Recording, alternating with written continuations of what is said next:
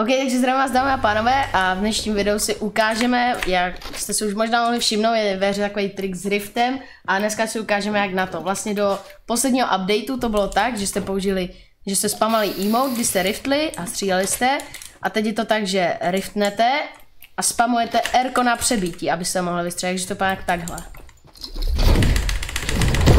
A takhle vlastně můžete vystřelit, hej.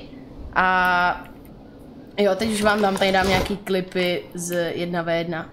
Pojď normálně fajt jak předtím prostě. Easy clap.